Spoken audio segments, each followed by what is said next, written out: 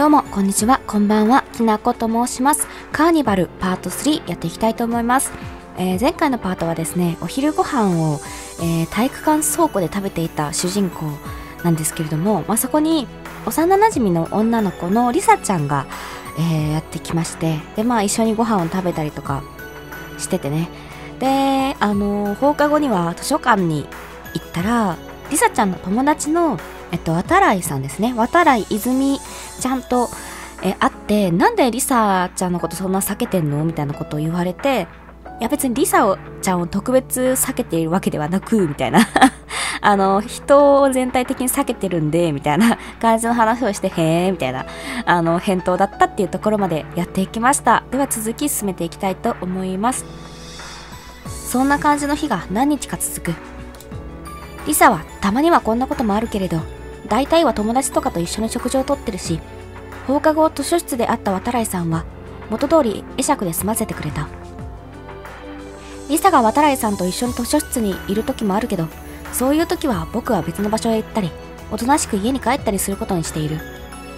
そんな平坦で静かな毎日のはずだったのだけれど、その日は校庭の体育倉庫じゃなくて、体育館の方の体育倉庫に行ったんだった。そしたら、なんか変な目に出くわした。もう大体からして、その辺からなんか変だったんだよね。大げさに言えば、予兆っていうか、前兆っていうか、そういうものだったのかもしれない、知れないのだけれど。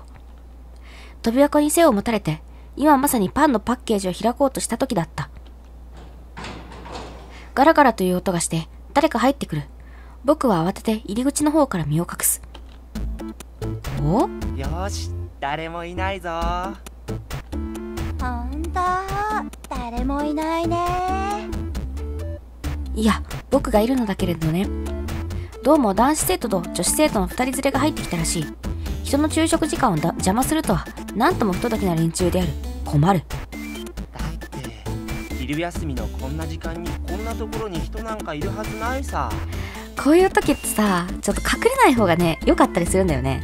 あの、変にさ、出にくくなるからさ、隠れずに、普通に、おみたいな感じで、お人おったんかいみたいな感じだったらさ、結構さ、えじゃあどっか行こうってなったりするし、じゃあ逆にこっちがどっか行きますみたいな感じにね、あの、対応できるから、なんか変に隠れちゃわない方がね、多分いいんだよね。そうだよねいや、だから僕がいるのだけれどね。まあ僕みたいな人間は、いると言えばいないし、いないと言えばいないような存在なのかもしれない。そのあたりは僕自身には判然としないね。自分がいるとはっきり感じたこともないし、もちろん自分はいないなと思った時点で、思う自分がいるわけで、どっちかといえばいるんじゃないかな。そう思うけどな。なんかシュレシュレディンガーのやつみたいな、なってるけど。でもこんなに強くいないいないと言われているとなんだか本当に自分はいないような気持ちになってくるから世の中というものは不思議だねとか思っているうちに二人はマットの上にドスンと乗った。うわ僕は体を縮めて物陰に姿を隠す。よーし。よっちゃん俺頑張っちゃうぞ。キャーマー君たらエッチね。おいおいおいおい。そしてマットの上に乗ろうと布とこえぜぜぜ 布ずれの音。果たしてマー君とよっちゃんはこんな人気のない場所で何をするつもりなのであろうかわかるやろうがいすっかり姿を現す機会を失った僕は途方に暮れたこうなったら僕は体育用具の一つになりきって気配を完全に消し去るしかないよし、今から僕は飛び箱はなんかちょっと個人的に嫌だな。でかいし。そうだ、卓球のスコアボードとなろう。私利私欲のない、純粋な汚れなき、無機質のスコアボードとなりきってやる。あーよっちゃんの体って本当に綺麗だなもう寝たふりするしかないよね。なあそんなこと言って恥ずかしいねほらこんなところ触っちゃうぞ ちょっとキモい。ああもうマー君たらで、本当に、この聖な聖聖なる学び屋で、マー君とよっちゃんは何をしているのだろうか。気になる。いや、卓球のスコアボードは人の心を持たぬ冷たいマシンである。何も思うまい。何も思うまいけど何かの表紙でちょっと影からこそっと頭を出しちゃうこともあるかもしれないよねまあスコアボードだから人間じゃないから見たからといって別に悪いことじゃないよねおいおい結構見えるところにいるなで、スコアボードがちょっと飛び箱の端から顔を出してみると、マー君とよっちゃんらしい若い裸体が2つ絡み合っているのが見える。僕がもしスコアボードじゃなかったら、これって覗きだよね。スコアボードで本当によかった。覗きですが。やっちゃん俺のここも触ってみてよえー、うん硬くなってるよっちゃんのここだって。もうびしょびしょだよ。あー恥ずかしい。こんなやりとりするか？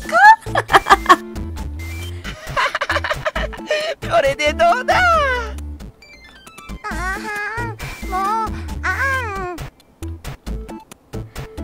マー君とよっちゃんはお互いの体に夢中になっていて、よもやこんなところに卓球のスコアボードが配置されているとは気がつかない様子。壁に耳あり、体育倉庫に卓球のスコアボードあり、油断は禁物である。じゃあ入れるね。うんわかった。ああん。ほら見てごらん。入ってるよ。うん入ってる。動かすよ。いちいち言ってくるな。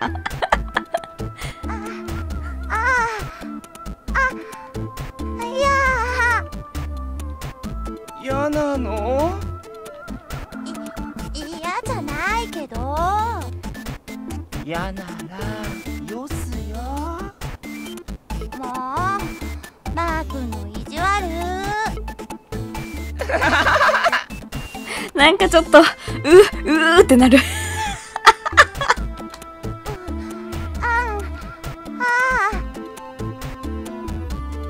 て感じで、その行為は続けられる。部屋に満ちるよっちゃんの喘ぎ声。卓球のスコアボードは鋼鉄の硬い物質である。やがてマー君は果て、よっちゃんの上に倒れ込んで荒い息を吐く。卓球のスコアボードとしてはもう十分な役割を果たした僕は、ここで人間木村学に戻り、人間の両親に従って脱出を図ることにした。マー君とよっちゃんは何か会話をしている。キャハハうふふ何が楽しいんだろうなと思いながらその隙に近くの窓を開けて。あ何か物音がする。ーマー君見て。あそこに人が。こういうのはもう待たない待たないとダメですよね。む向こうが出ていくのを待ってひたすら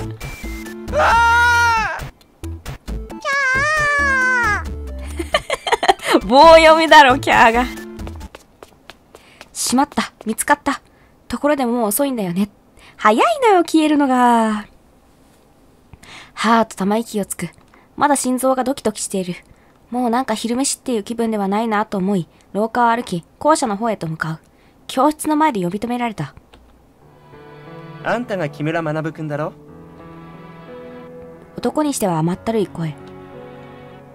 大きくてスポーツマンらしく適度に鍛えられた引き締まった体。端正な顔立ち。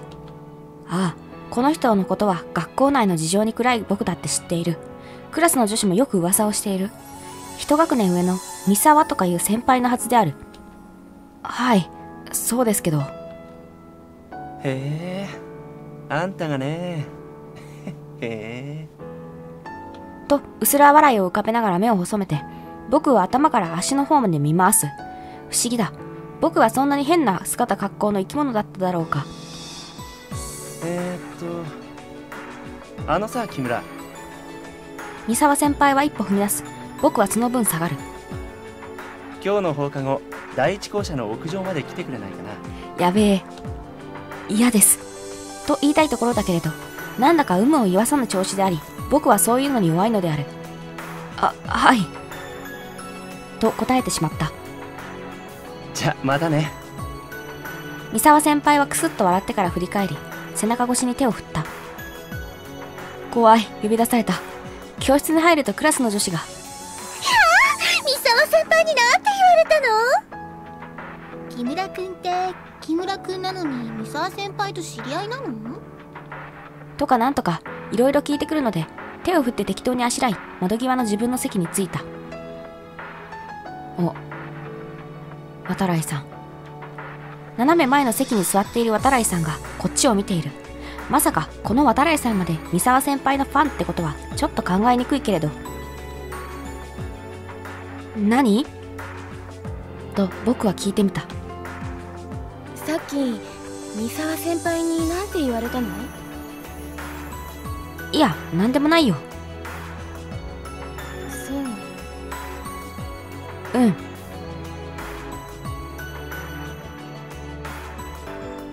僕が窓の外に視線をそらすとしばらくして渡来さんも僕を見るのをやめたようだ。何でもない。なことがあるはずないことは三沢先輩の態度言葉遣いから言っても僕の経験から言っても分かりきっている比較的憂鬱な気分であるね。ああ空が青いな。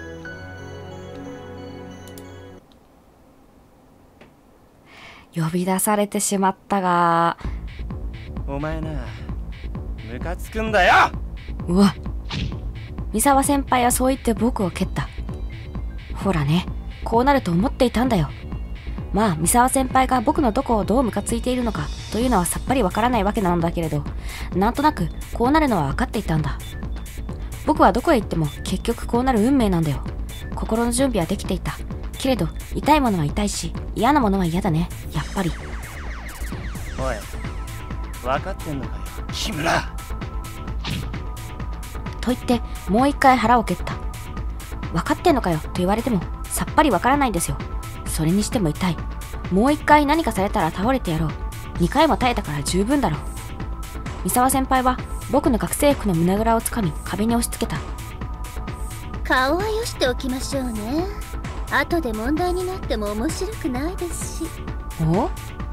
とわからないといえばなんでこの人がここにいるのかがもっとわからない。志村えいみかな先輩だっけなが微笑みをた叩いて立っている志村先輩もまあ学校では有名人の一人である。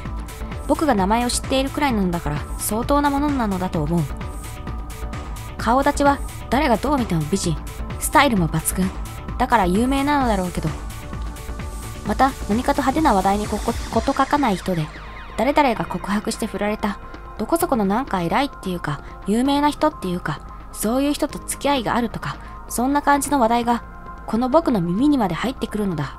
うーん。派手な感じの女の子なんですね。あと一昨年の学園祭祭の時にやった校内人気投票って未だにやるような学校あったんだねって1位を取ったらしい。そんなのあるんだね。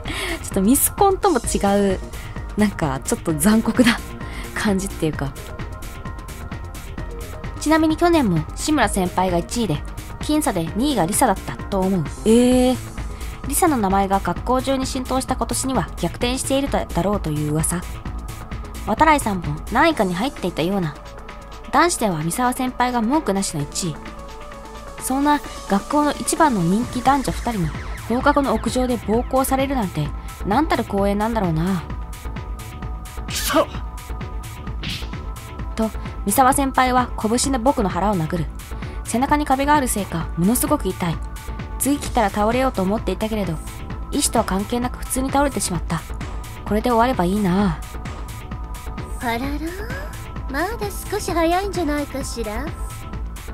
でもさこういうことやってるのとかってさなんか噂になったりしないんだろうか？と志村先輩が余計なことを言う。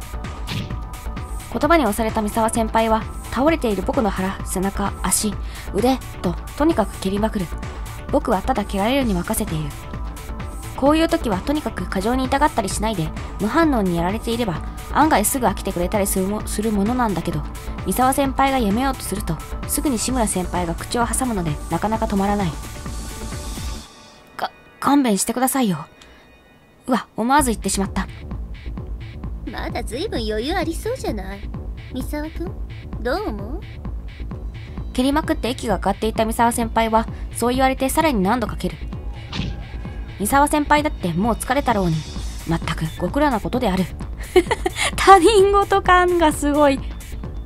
そして僕はもう最後の手段だ。死んだふり。僕はぐったりとして意識を失ったふり。それを見て、どうにか三沢先輩は蹴るのをやめる。助かった。こんな蹴られなかったいくらしても、意識なんかなくならないんだけどね。この人たちが知ってなくてよかった。おう。同じこと言おうとした。と笑っているのは志村先輩。うつむせに倒れている僕の髪の毛を、髪の毛をぐいっと持ち上げたのも志村先輩。彼女は僕の前にしゃがみ込んでいる。あの、パンツが見えてますよ。そう、余裕すぎない？今日のはほんの挨拶よこれからたっぷり可愛がって差し上げるからそのつもりでもちろんあなたが何を言ったって無駄ですわよ私たち二人とあなた一人の言葉先生はどっちを信じるかしらねてまあ、多分その通りでしょうね。そんなの言われなくても知っております。僕だってまさかこの二人にこんなことされるなんて思わなかったものな。まったく感激的ですよ。それから、あの、パンツ見えてますよ。何回も言う。じゃあこの二人はさ、こう学校の普通のところでは結構さ、なんだろう、こう、ちゃんと、ちゃんとっていうか、なんだろうね、そこは悪くないのかな？って感じなんだろうな。ふふ。でもなんか見た目的には結構なんかちょっと柄の悪そうっていうかねえ、そんな感じがするけど。と笑い、志村先輩は立ち去っていく。その後三沢先輩がついていったのだろう。僕は倒れたままぼんやりしている。学校一人気の女性のパンツをまじまじと見ることができたということと、今の体の痛みを測りに乗せてみた。うーん、別にそんなにパンツ見たくないな。他の、もっとあの人を好きな人に権利あげるから、誰か変わってください。そんなことを考えてた。体が痛くてすぐには動けないのだよね。あ、今日昼飯食べないでよかった。食べたらきっと入ってたよ。それにしても、屋上のコンクリートが冷たくて気持ちよいね。ちょっと寒いけれど。かわいそうに。ボコボコじゃん。それからいじめっていうほど大掛かりなものではないな。暴行は日常的に繰り返されるようになり、僕の日常は瞬く間に陰鬱なものへと変わってしまった。いじめ、え、暴行の方がちょっとひどい気がするけど。なんだ、殴られて悪口言われるだけじゃん。大したことないよって、頭では思うんだけど、不思議とかなり嫌な気分だ。昼休みに呼び出され、放課後に何か、まあ僕がものすごく嫌がるようなことをされる。志村先輩と三沢先輩二人がかりの時もあれば、三沢先輩一人の時もあった。嫌がらせが必要なのは志村先輩もいる時である。わけもわからず、屈辱的な責め句を受けるのも嫌なので、ある日志村先輩に、一体、なんでこんなことをするんですか？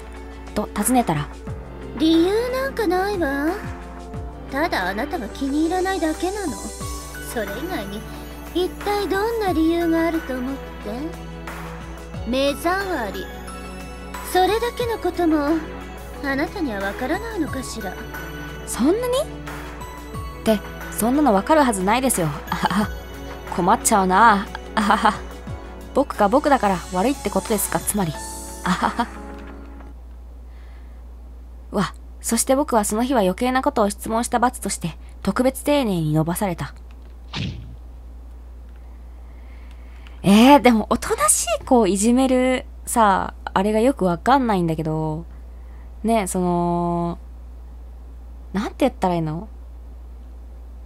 こう、クラスとかでさ、こう目立つ系のさ、人がさ、目障りだからうんぬんっていうのはさ、まあまあ、目立つからさ、そういうのはわかるっちゃわかるけどさ、おとなしい子は無害やんって思うんですけどね。こんな毎日が面白かろうはずもない。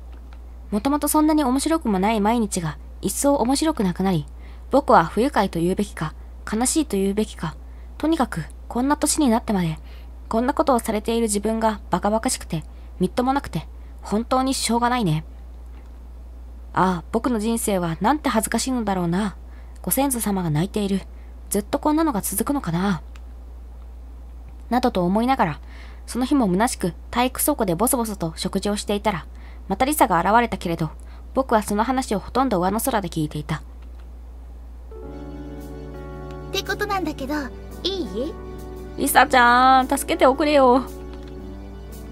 何が？聞いてなかったの？お祭りのことよ。お祭りって夏の？そうよ。もう本当に全然聞いてなかったのね。うん。本当に全然聞いてなかった。リサはため息をつく。僕らの町では年に一度大きな夏祭りが行われる。何でも古くから伝わる由緒正しいお祭りなんだそうだけれけれど最近ではすっかりイベント化されて元の由来がどういったものかなんて全くわからなくなっている。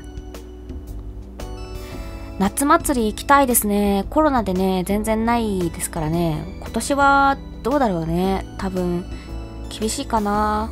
なんかちっちゃいお祭りくらいはあるかもしれないですけど毎年あのー関西だと知ってる人多いと思うんですけどあの淀川っていうね川がねありましてでそこの兵庫県と大阪のなんか境境ぐらいにある川なんだけどそこの川で毎年花火が上がるんですよ。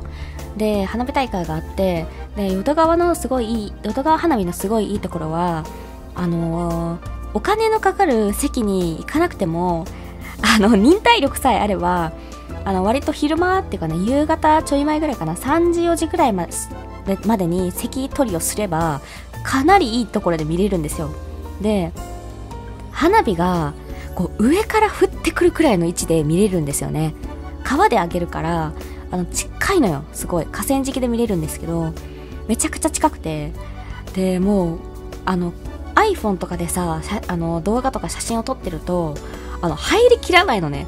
あの花火が近すぎて画面に。ぐらいの距離で見れるからすごい淀川花火が好きなんだけどあの去年も一昨年もかな？なかったから早くそれを見に行きたいんですけどめちゃくちゃ密になるからね多分厳しいのかなっていう気はしてますね。街の中央公園には櫓が組まれ街角には露店が並び提灯がぶら下げられる。この祭りが開催される3日間は付近からも人が集まり街中が賑わい活気を帯びる。最終日には花火の打ち上げも行われる。ちょうど夏休みとぶつかるせいか若い学生の姿が目立つ。その夏祭りのことだろう。おあのね今年のお祭り久しぶりに一緒に遊びたいなって思ってそういう話をしてたの。誰と一緒にって？学くんと。なんで？今年はね新しい浴衣を買ったの。その浴衣を学くんに見てもらいたいなって思って。最近あんまり一緒に遊んだりしないでしょ？だからお祭りくらい付き合ってほしいんだリサちゃんは彼氏はいないんだろうか？ふーん。嫌かな？なんで僕なんかと？渡来さんとか誘えばいいんじゃないかな？私は学くんに来てほしいって言ってるんだよ。そうなんだ。そうなの。で何の話だっけ？もうそんなに私の話を聞くのが嫌なの？あ怒った？怒ってないよただ学くんがちゃんと話を聞いてくれないから。大丈夫。理解したよ。じゃあお祭り一緒に来てくれる？うん。いやお祭りいいじゃん。可愛い子 可愛い子と一緒にお祭り行けるのいいじゃんね。よかった。じゃあお祭りの最初の日中央公園のこれなんて読むの？なんとかの前で。なんか木の感じだったよね多分うん。これは約束なんだからね。ちゃんと来てよ。行かないと思うの？うん。ほんのちょっとだけ。分かったよ。約束します。ありがとう。お祭りが楽しみになってきたな。リサは喜んでくれるのだけれど僕は複雑な気分だ。あのねリサは知らないだろうけど僕はね惨めないじめられっ子なんだよリサが相手にするような人間ではないと思う思うのだけれど僕は消えてしまいたかった。僕には何もない。おまけにそれを嘆きもしない。えーん。ということで、えー今回はこの辺りで終わっておこうと思います。うんちょっとなんかいじめられってしまっている感じなんですね。ちょっとあの捕まったのとかもここら辺関係ありそうな感じがちょっとしますけれども。えー、どうなんだろうね。まだまだちょっと話の全貌が。まあ大体なんか導入部分はこんな感じかなっていう感じがしてきましたね。でもリサちゃんは相変わらずねあのちゃんとなんなんて言うんだろう。構ってくれるっていうかあのこっちに構ってきてくれる感じなんだよね。リサちゃんはねでもいじめられてることは隣のクラスだからなのかな知らない。てか他の人は知ってるのかなって感じだよね。というわけで、え見てくれた方ありがとうございました、えーチャンネル登録高評価コメントいただけると嬉しく思います。ではまた次回のパートでお会いしましょう。バイバーイ。